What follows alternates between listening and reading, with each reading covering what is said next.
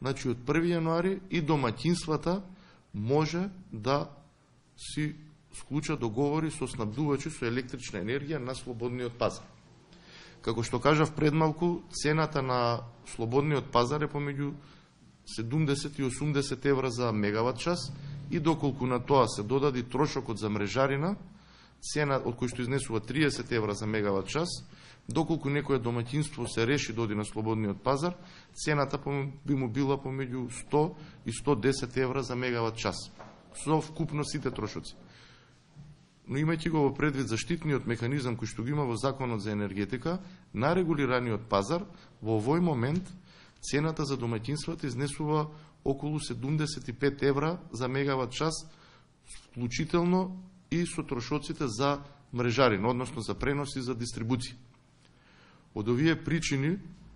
кај домаќинствата нема интерес да одат на слободниот пазар, е исто така нема интерес и кај снабдувачите да понудат кај домаќинствата